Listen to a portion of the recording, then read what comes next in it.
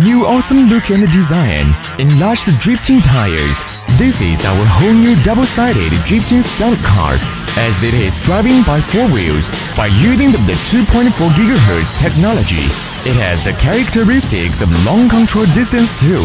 This cool drifting car has highly flexible body and it can easily finish all kinds of cool stunt actions and keep moving forward all the time. Now, take your own drifting car and have a cool race with your friends.